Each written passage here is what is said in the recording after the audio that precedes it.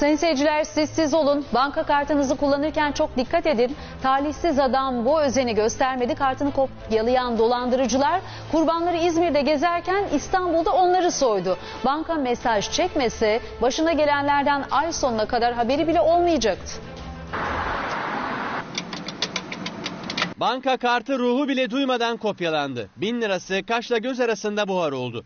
10 gündür uğraşıyor ama ne parasından ne de dolandırıcılardan bir iz var. Mağdur oldum. 1000 TL param çalındı. Aynı durumun başka kimsenin de başına gelmesini istemiyorum. Yılın her günü, her saati banka kartlarıyla alışveriş yapıyoruz, para çekiyoruz. Ancak dolandırıcılar bu kartları kopyalayıp birçok kişiyi mağdur ediyor. Sayıları da çok fazlalaştı. Salih Bey de bu mağduriyetini Çeşme'de evinde otururken bir kısa mesajla öğrendi. Bankadan bir mesaj geldi. Mesaj şöyle 950 TL para çekildi. İstanbul Güneşli Ortak ATM Bankası'ndan. Para İstanbul'dan çekildi. Ancak 31 yaşındaki Mehmet Salih Baykın o sırada İzmir'deydi. Kartı da yanındaydı. Ama bankadan gelen kısa mesajda 25 lira işlem ücretiyle birlikte 975 lira para çekildiği yazıyordu. Hemen telefona sarıldı. Müşteri hizmetlerini aradı. 975 lira para çekildiğini söylediler. Kendime ait olmadığını, tatilde olduğumu kendilerine söyledim.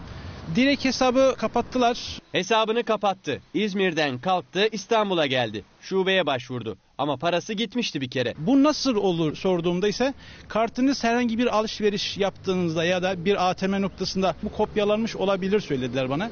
Ama bu benim sorumlumda olmadığını söyledim. Savcılığa başvuruda bulundum. Gerekli şikayetleri yaptık. Salih Baykın dolandırıcıların binlerce kurbanından biri. Peki aynı duruma düşmemek için ne yapmalı? Kartla işlem yaparken nelere dikkat etmeli? Dolandırıcılar kart kopyalamak için en çok ATM cihazlarını kullanıyorlar. Bakın gördüğünüz bu aparatı değiştiren dolandırıcılar müşteri kartı içine koyduğu an tüm kart bilgilerini kopyalayabiliyor. Aynı şekilde mikro kamera sayesinde müşteri tuşlara bastığında şifresini de öğrenebiliyor ve bu sayede müşterinin tüm bilgileri artık dolandırıcının elinde.